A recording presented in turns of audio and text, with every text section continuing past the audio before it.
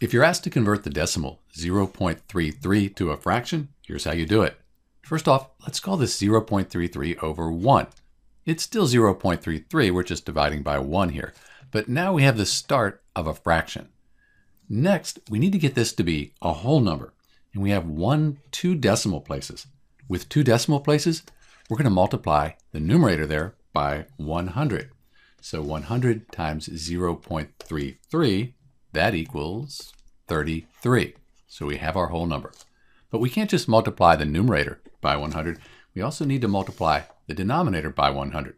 100 divided by 100, that's just 1. So again, we haven't changed the value, just the way it's represented here.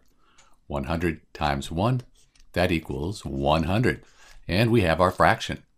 The decimal 0.33 is equal to 33 over 100, and we can't reduce this fraction any further. If you divide 33 by 100, you'll get the decimal 0.33.